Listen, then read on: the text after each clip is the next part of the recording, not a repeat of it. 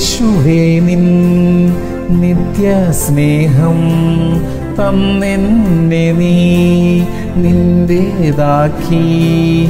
ഇല്ലാർക്കും സാധ്യമേ അല്ല. ഈ ബന്ധം വേർപിരിക്കാം.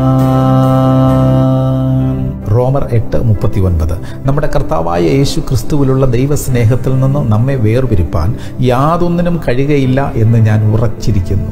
പ്രിയമുള്ളവരെ നമ്മുടെ പ്രാർത്ഥനകൾക്ക് നാം ആഗ്രഹിച്ചതുപോലുള്ള മറുപടി ലഭിക്കാതിരിക്കുമ്പോൾ അല്ലെങ്കിൽ വൈകുമ്പോൾ ഒക്കെ നിരാശയുണ്ടാകാം. പക്ഷേ ആ നിരാശയുടെ മേൽ നമ്മൾ ജയം പ്രാപിക്കും. നമ്മുടെ പ്രാണപ്രിയനായ യേശു ക്രിസ്തുവുമായുള്ള നമ്മുടെ ആത്മബന്ധം അത് ഏതെങ്കിലും ഭൗതിക നന്മകളുടെയോ അല്ലെങ്കിൽ ആഗ്രഹങ്ങൾ സാധിക്കുന്നതിന്റെയോ അടിസ്ഥാനത്തിലൊന്നുമല്ലല്ലോ. കർത്താവ് ചെയ്യുന്നതെല്ലാം നമ്മുടെ നന്മയ്ക്ക് വേണ്ടിയല്ലേ.